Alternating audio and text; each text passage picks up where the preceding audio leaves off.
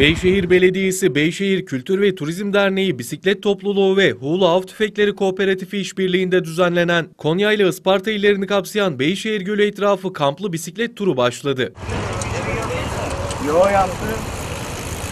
Her şeyi de herkes yapıyor. 21 ilden 160 bisikletlinin katıldığı etkinlikte 167 kilometre pedal çevrilecek. Beyşehir Kültür ve Turizm Derneği Bisiklet Topluluğu bu sene 9.sü geleneksel olarak 9. Bisiklet Festivali'ni düzenliyoruz. Bu sene biraz daha farklılık yaparak 3 güne çıkardık. E, Katılımcılar Türkiye genelinden yaklaşık e, 21 ilden e, 160 katılımcı var. E, Tura başlıyoruz. Umarım iyi gider. İnşallah kazasız belasız atlatırız. Her yaştan katılım var. Kimi ilk kez geldi, kimi her yıl katılıyor. Türkiye'nin dört bir tarafından Beyşehir'e gelen spor ve doğa tutkunları dolu dolu 3 gün geçirecek. Çok eğlenceli. Yedincisinden yedi geleneksel ye- yedincisine katılmıştım zaten. Onu beğenmiştim. Bu da hoşuma gideceğini umuyorum. Bu yıl ilk defa katılıyorum.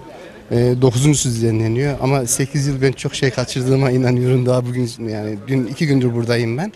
İki gündür ki e, izlenimim buradaki dernek e, başkanımız dahil emeğe geçen herkese şu anda teşekkür ediyorum. Ee, inanın 8 yıldır ben çok şey kaçırmışım. Bundan sonra kaçırmamaya gayret edeceğim. Isparta'dan katılıyorum. Bu yıl dördüncü katılışım Beyşehir Bisiklet Festivali'ne. E, harika bir rotası var. Beyşehir Gölü'nün etrafını turla, turladığımızda çok mutlu oluyorum.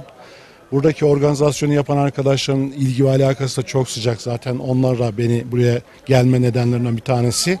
Bir de doğa aşığıyım. Doğayı çok seviyorum. E, sporu çok seviyorum. E, henüz nüfus yılındaki yaşım 62 ama ben bisikletin üstüne çıktığım zaman kendimi 18 yaşında hissediyorum. Gençlere örnek olmaya çalışıyorum.